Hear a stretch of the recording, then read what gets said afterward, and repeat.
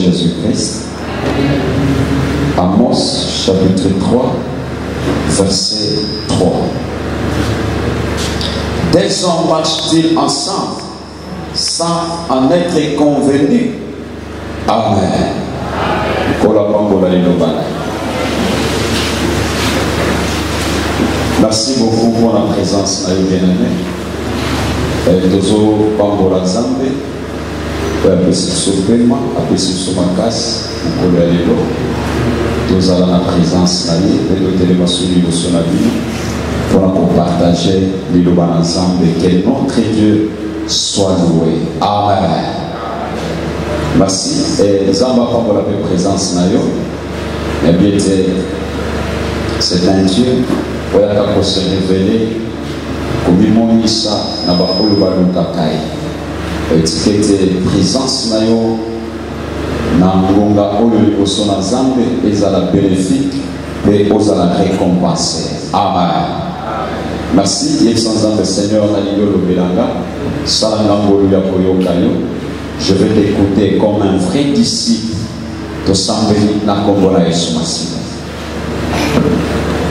Oui, Seigneur Jésus, viens à notre Père. Nous avons besoin de ta présence. Ta présence est indispensable, Roi. Sans toi, nous ne pouvons rien, Jésus. Mimonisa Nkolo, au patronner, au régner, au se faire signaler.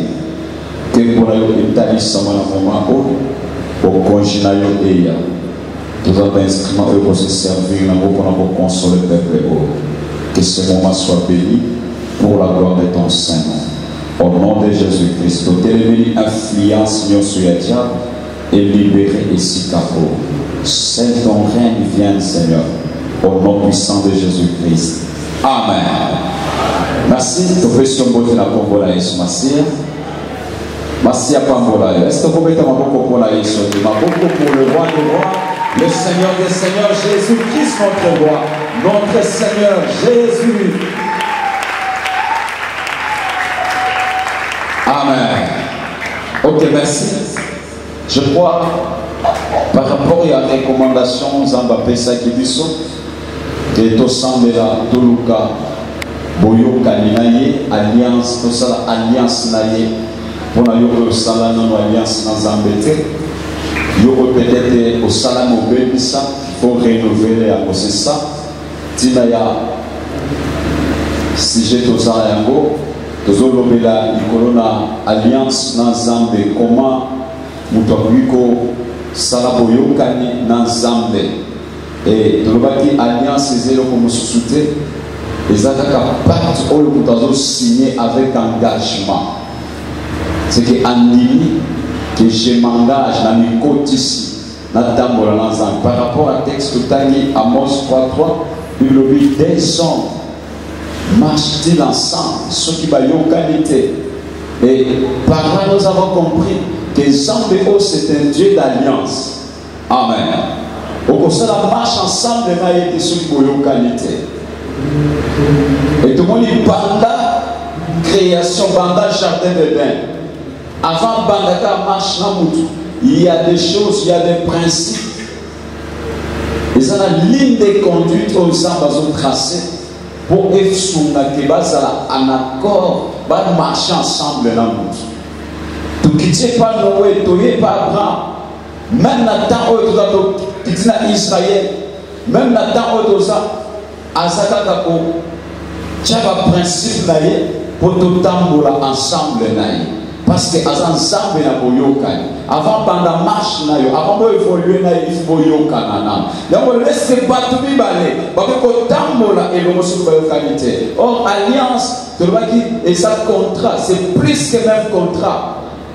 oyo bato mibale to ebele bazosigne me na ka na biso c'est notre alliance notre partenaire eza nzambe siki tozoyokana na nzambe etobaki la seule différence oyo eza entre boyokani baalliance eza na mokili na oyo tozosala epa na nzambe alliance to bacor ya mokili le deux partie bakoya na baide na bango amen oyo aye na ide na ye oyo aye na ide na ye batie ensemble bayokani ntango ba se mettre d'accord ya maintenant babandi koévolue ensemble mais ya nzambe yo kokende na eloko te yo kokende na pense na yo te okokende na idéologie na yo te okokende na façon na yo te okokuta deja mode de vie moko nzambe asi abongisa asi atrasa nous sommes oblige ya kose soumettre na yango amen de place tolobaki osali choix ya komarche na ye ya kotambola na ye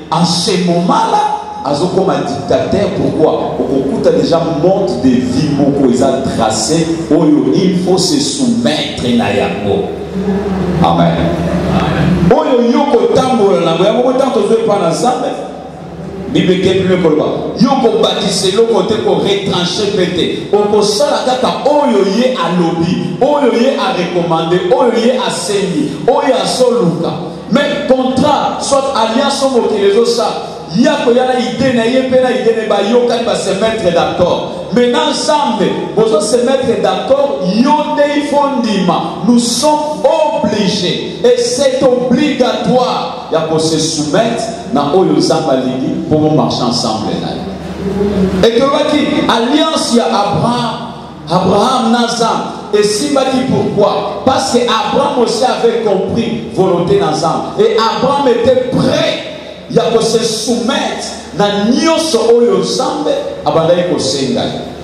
amen amen etobaki dans l'alliance il y a une force il y a une puissance oyo ekoki kochange impossible ezokoma possible et nous avons dit ceci dans l'alliance dieu se souvient toujours tomonaki exemple ya israel nzambe asali alliance bayokani na abraham mais azopesi comme si ya boyokani bakitani yo te descendant bakokende na bowumbu Mais après 400 ans, ngai sa, na kokende kobimisa bango, pe na kosambisa ekolo oyo ekokanga bango en otage. Pe bakolima na bozwi ebele. Amen. Basali boyokani na, na Abraham, et peuple oyo base retrouve pe na Egypte, bazonyokwama. Bible ezoba Dieu s'est souvenu na boyokani oyo asalaki na Abraham. nde ayebisi moïse kende nayoki mpe namoni combien bazosouffrir c'est qu'il se souvenir na alliance oyo basalaki na abraham ke badescendant na yo bakitani na yo bakokanga bango na boumbu mais il est temps maintenant ke nakende kobimisa bango parce que eza accord eza boyoka lokola abraham arespectaki atosaki asalaki nyonso nasengaki ye il faut na intervenir et dieu se souvenir Amen, amen. Et dans l'alliance aujourd'hui, Dieu se souvient toujours. Dans l'alliance, il y a une force. Dans l'alliance, il y a une puissance. Et nous sommes aussi appelés, bien à tisser, intégrer, qu'on se plonger dans sala alliance oko marche na ye te parce que c'est un dieu d'accord c'est un dieu d'alliance yango balobi est ce que deux personnes peuvent marcher ensemble soki bayokani te esi okotambola na nzambe soki boyokani te c'est pourquoi tozomona lelo vie chrétienne ezokota mobulu pourquoi au départ bato baza kosakorde te bazoyokana te ayebi te parce que nous avons dit il faut koyeba baclose ya alliance mpe korespecte yango Mais aujourd'hui, mutu aye akangami na Nzambe pourquoi? Po ayokaki prophetie. azosambela pourkui mpo soki atie te ndako place azofanda bakotyele makelele azosambela pourkui mpo melodi ya misiki eglise wana nde esepelisaka ndenge bayembaka ndenge babinaka non bien aime la vie chrétienne eza bongo te vie chrétienne eza likambo ya engagement na yo moko personnel na nzambe ntango osengage ondimi j'accepte na naza koatere na pense na nzambe na oyo nzambe alingi mbala moko bandi route ensemble na ye et en cela dès le départ okosengage tolobaki meme na entreprise ya mokili okosigne engagement te okosigne euh, lettre engagement te soki oyebi nanu konteni nango te lelo trouble eza na makambo na nzambe pourkoi parce que bato bazokota bayebi te nini akesala movi chrétien yango ezali akendaki paitete mpo na influence mokoko mais soki oyebi objectif na yo raison d'être na yo na présence na nzambe bien aimé dès le début dès le commencement engagement oyo ozozwa epa na nzambe okozala mpe prêt ya korespecte yango Amen. Toyebi engagement ya Abraham na Nzambe esimbaki pourquoi? Abraham aye parce que dans l'alliance il y a toujours sacrifice oyo esengeli osala. Abraham azalaki prêt ya ko se sacrifier, ya ko sacrifier même son unique. Nzambe azoya koyebisa ye Pesaka mwana na yo moko kaka oza na ye. Et lokola asangajaki totalement, azalaki na reserve epai na Nzambe wana te. azwi kaka fils unique aza na ye azosakrifie ye etoye komona nzambe oyo aye kokoma jehova jire mpo na abraham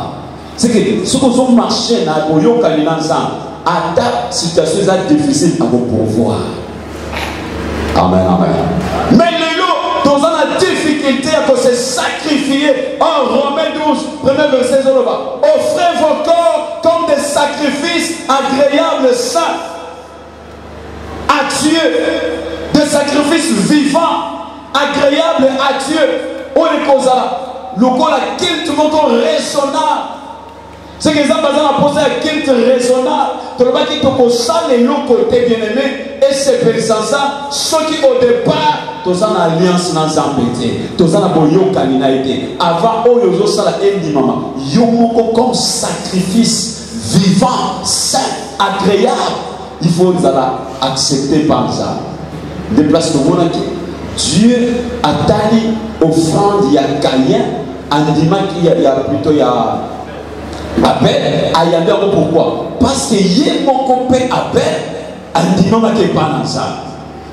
Caïn, lokola ye moko andimami te, moye mpe Nzambe agree sacrifice na ye eza te. Seke nyonso okoki kosala, koyemba, kosambela, kobina, nyonso okoki kobonzela Nzambe mpo endimama. Yo moko na il faut ozala sacrifice vivant, mbeka oyo ebonzama epai na Nzambe. Mais lelo toza na ba chretien oyo balingi sacrifice te nzoto ezoprime na nzoto eza na na moadi nzoto ezokamba ye nanu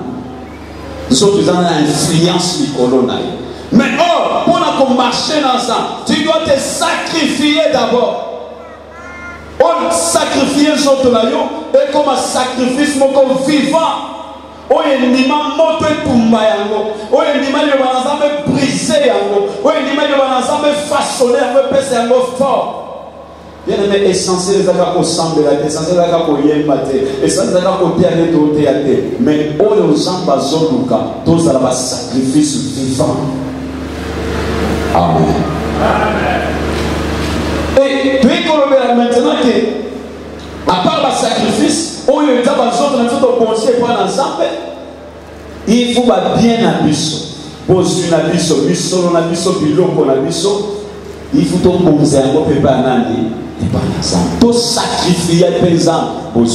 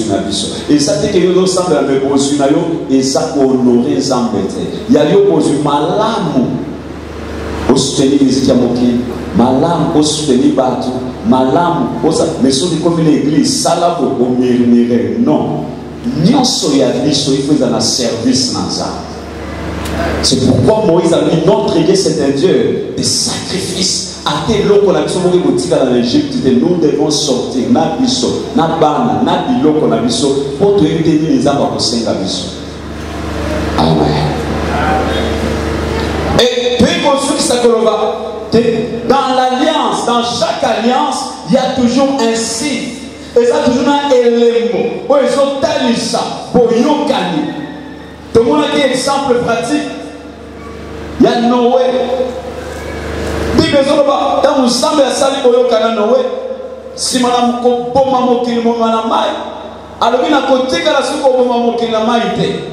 Nsima na offrande, sacrifice oyo Noe a offrir, ensemble azwa kosala pesa si bazwi arc en ciel oyo babeti na minoko mosusu mwa zankongo amen mpo na lingala babeli beseso abi Nakosenga. Mon, mon amour. Mon amour. Amen. Oyo bamosusu balobi kongolo mwanza kasi mwanza kongolo yango tolobaki monoko mosusu balobaki nkongo nkongolo balobi eza lokola elembo lokola sini ya boyokani na nga ntango ata mapata eyindi Nakonoki soki mbula elingi enoka mpo eboma ntango kaka na komona elembo ya nkongolo wana ya mwanza nkongolo wana soki kaka namoni yango kanda nangi kosani ekokita pourkui ntango na komona nsinwa seke ezalaki elembo ya boyokani oyo nzambe asalaki na noe seke moye mbula ebeta yango tolobaki meme lelo ekomaki lokola eloko moko ya bakoko na biso tomoni a ah, lokola mwanza nkongola bimi wana te eza liloba na nzambe eza alliance nzambe azalaki atyaki yango lokola elembo eza eloko ya bakoko na bino te amen esoki aparet tolobi dans l'alliance dieu se souvient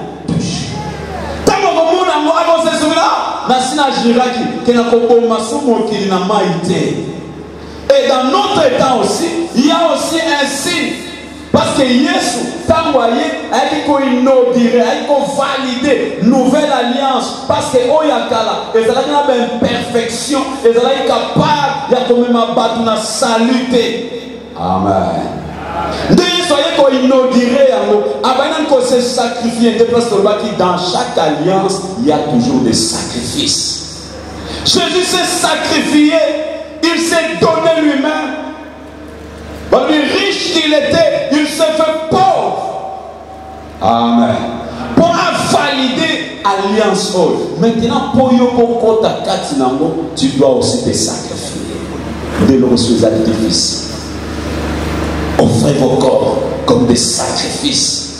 vivant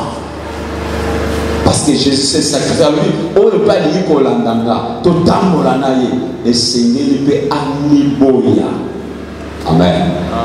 mpe azwa kroi na ye asala nini c'est-à-dire tu dois te sacrifier okotambola so ndenge mokili elingi te tu dois te prive na makambo oyo nzoto ezosenga yo tu dois te discipline tosala marche ensemble e toza mpe na elembo oyo na alliance oyo toza na yesu yango azongisaka yo tele te nakei nakotika bino bana na etike te nakotindela bino mosu le consolateur le paracle consolation ekozala nakotika bino bana etike te me mosungi molobeli avoka akozala amen Parce ayebaki baza na mokili me baza ya mokili te yango bible ezobaki tous ceux qui sont conduits par l'esprit de dieu bango nde baza bana na za seke bango nde baza na alliance na ye et office identité na bango ezochange parce que molimo mosantu oyo eza elembo ya koyoka yo toza na yango na nsa balobi il rend témoignage à notre esprit que nous sommes enfants de dieu Or, si nous sommes enfants, nous sommes aussi héritiers et co-héritiers avec Christ. Amen. Te petit mon propre pour la Son esprit est là. Bambi, bisika yaza, bisika yango kopemeza. Tolobaki saki molimo mosanto aza epa na yo nde akopesa yo vrai repos. Tolobaki eza neti motuka ateze ya sika ebimi na izine tant que carburant eza te kotambola te.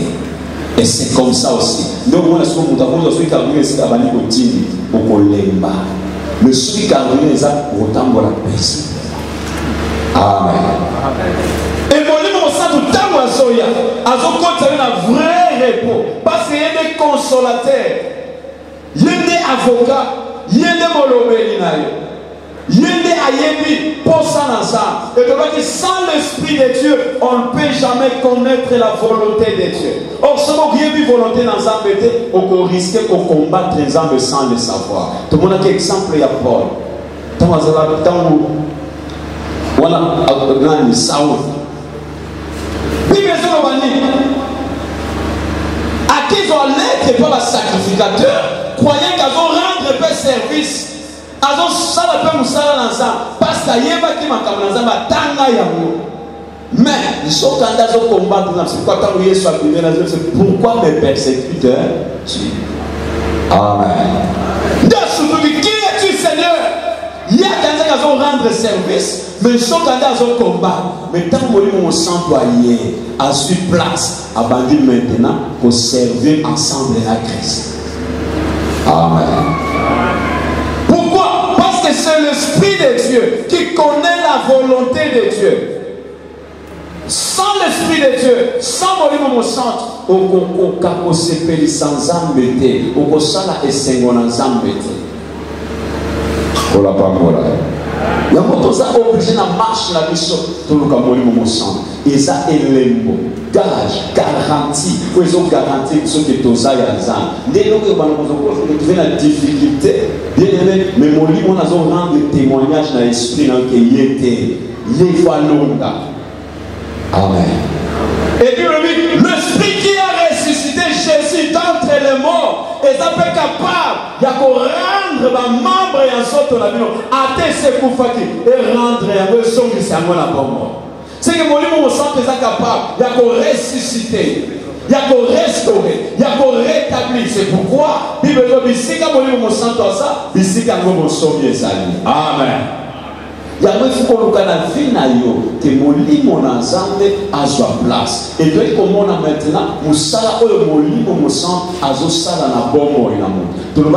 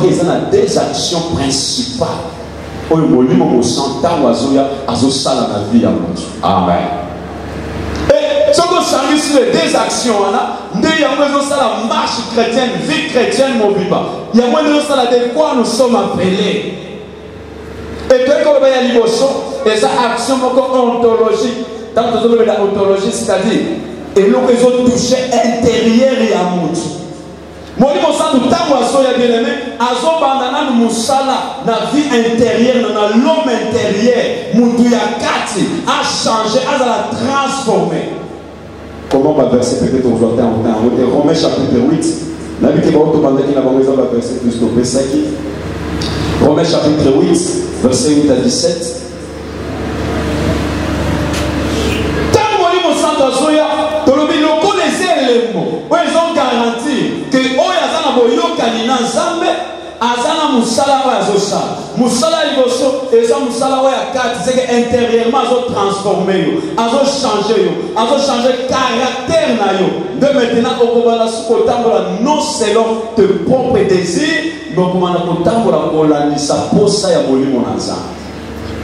amen seke kotransforme l'homme intérieur na yo caractère na yo lelo yango ozomona malgre bato bazosambela ebele mais caractère na bango echange te vie intérieure tant echange te bien aimé etika na biso c'est l'invisible qui dirige le physique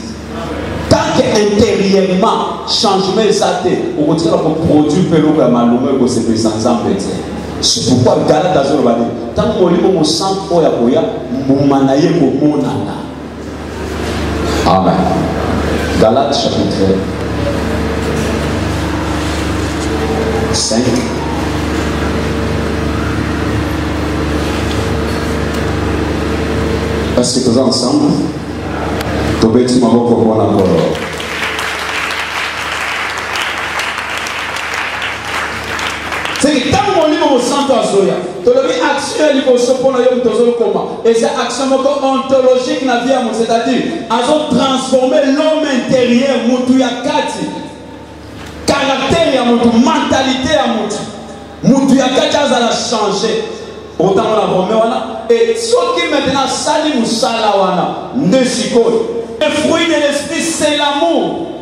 C'est que moto oyo molimo mosantu aye aregne atransforme akomanda kotalisa maintenant mbuma ya molimo ya liboso balobi nini bolingo e na bolingo oyo akozala na bolingo premièrement epai na nzambe e deuxièmement bolingo vis-à-vis na ndeko aza na ye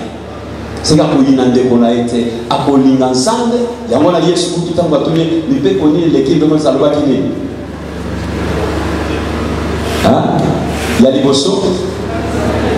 ya mibale seke ntango molimo mosantu azoya je ne crois pas et je ne pense pas ke moto oyo aza na molimo mosantu akoki koyina ndeko na ye akoki kokanisela ndeko ne mabe te akoki kotrahir ndeko na ye te mais chose grave omona meme na église bato mibale bafandi place moko me basololaka te balobanaka te azomedite mabe vizavi soki oza wana oza place ofandi wana oyebi makanisi oza oyebi kaka mpo nzambe azalaka bien azwa makanisi abomba na kati soki ezaki bamakanisi ebimaka libanda me tofandi ndenge tofandi ate ofandi pembeni neti amen me moto aza na molimo mosanto oyo molimo mosanto asali mosala akofandisa nanu bolingo na za mpe bolingo ya ndeko aza pemene okokanisele mabe te ata oyoki likambo na nkombo na ye okoyina ye te okoluka nano verifie Et attends, vérifier ça vrai. Lokola ba personne ndingisi ya koyina te koyina te. Bible ezoki le kutu plus loin. Et même même vos baoyo bazo maltraite bino. Amen. soki ntango molimo santo aye akosala mosala wana na bomoi na yo e makambo oyo nyonso nde badegre nde baartikle oyo eza kati na alliance oyo nzambe asinyaka na motu Tango eza respecte nde Nzambe oyo ako marche na yo. Soki a marche na yo, bitumba na yo ekokoma bitumba na ye. soki babundisi yo seke bazobundisa yo parce que tu es en accord na ye akomi partenaire na yo akolinga defete na yo te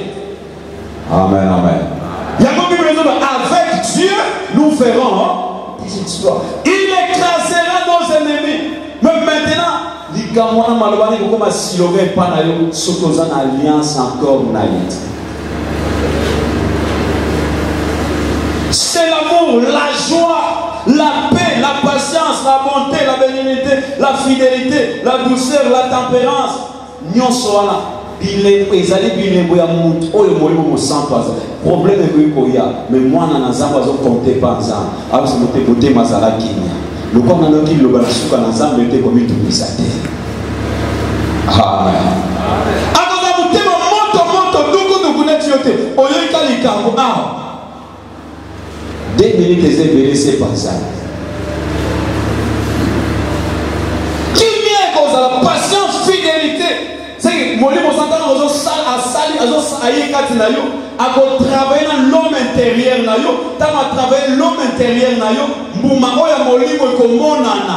parce que eza mbuma moko me oyo eza kose manifeste na biteni ebele amen amen ekose manifeste esengo wana ya kozala pembeni na ndeko na yo ya kobela na presence na nzambe ya koyoka nzambe ya kotosa nzambe ya kotambola na nzambe dans n'importe quelle circonstance ata makambo ezosimba te okozala tuni na esengo ya kokangama na nzambe ya kosala marche ensemble na nzambe pourquoi eza eloko ezowuta na force musculaire te mais c'est le fruit du saint esprit e nde bango wana bibele babengami bana na nzambe c'est pourquoi souvenez-vous jean chapitre 4 lisolo ya yesu na femme samaritaine ntango bakutani na mwasi oyo mwasi pesanga mbala biso na bino toyokanaka te koma yo oyo oza juif osenganga samaritaine mai Amen, amen. C'est comme ça, genre ya bakretien wana lelo mpe toza azosambela me na bango bayokanaka te biso lelo tokolaka ndenge opesa enganga mai ngai napesa masiya nazwaka mai na ngai napesa ata bangombe bamete napesa yo biso na bino dai toyokanaka te mais après na pokwa bango nyonso bakewa Bake mpe na ngomba tokesa bien me mata na yo ngomba c'est bien mais tant que molimo mosanto aza na yo te nzambe akoyokela yo te parce que nzambe azoloka prie ya moto aza na elembo ya molimo mosanto parce yango nde togarantir yo ke oza mwana na nzambe nyonso tozoluka eza biloko na nzambe kozwa yango ifo kokuta na identité na ye na identité na ata toboye pasika biso ke oyo aza oza mwana nzambe problème eza te mais témoignage vrai eza oyo molimo santo azo témoigne balobi il rend témoignage à notre esprit que nous sommes hein? souvenez-vous de naman azalaki na lèpre mais costume na ye ezobomba yango eyebana grande aza nango ezo ebombi nyonso mena lepre na kati menya nzambe na lol ata yo obombani témoignage na ye nde ezalaka vrai kola pambola biso nde tokala tosanga makwani me azosambela nde yesu azobe siti connaisse les dons de dieu oyebaka moto azosenga yo mai yo nde olinga kosenga ye alingaki kopesa yo mai oyo elingaki koma source do vie elingaki komema kino na bomoi ntango azolaka bayekoli alobi molimo ntango molimo mosantu akoya akomela na bino éternellement amen amen seke yesu abandeli kosala mosala na mwasi oyo ya koluka nanu kolongola kiboye ko changer caractère na ye alikeli kobengela nga mobali na yo nana mobali te wi olobi ya solo po ozalaki na bango nanu boni ata oyo oza na ye mpe sikoyo aza ya maka azosambela me kindumba ekobo atika te me koto oyo azosambela yesu abandi sikoyo mosala ntango molimo mosantu akoya alobi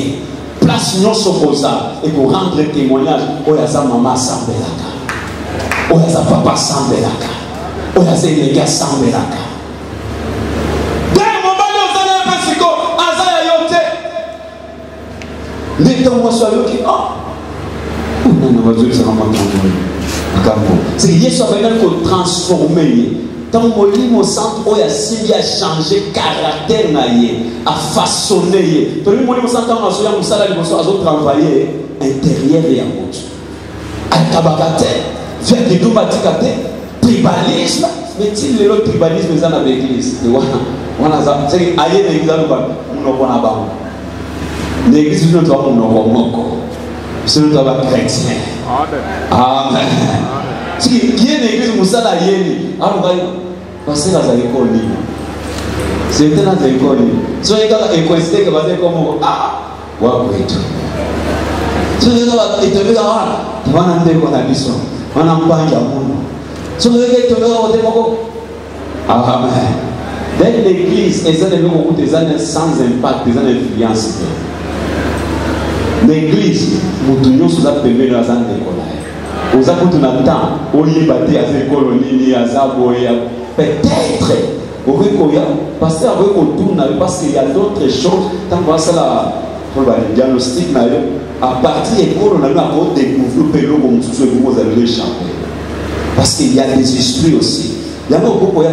na nzoto boye ese tokokoa auto na nzoto boye oza ekolo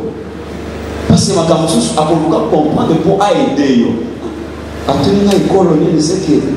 seke eza na atuni yo ekolo mpo ayeba n'est-ce pas ata na hôpital soki oke ntango bazosala nini aotuna yo na famille na mesa ntango tabelaki ko na famille na mesa tout ça pourquoi ayeba comprendre peut-être origine ya likambo eza na tribalisme na biso na bino tongana te bino boza bayuda biso toza bino bondimelaka biso te bino boloba biso toza na nzambe te sikoyo osenganga mai me nyonso wana na mpoko ya mati ngomba te sambe me ntango yesu abandi matena mosala ya kosala soki oyebaki mbele yo nde osenga mai apesaka ah, kasi mai yango mpo naya lisusu kotoka